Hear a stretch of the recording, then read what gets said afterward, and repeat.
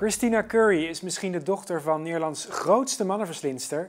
Zelf heeft ze nog wel eens problemen op dategebied. Ze demonstreert haar eerste date op bijzondere wijze op Instagram.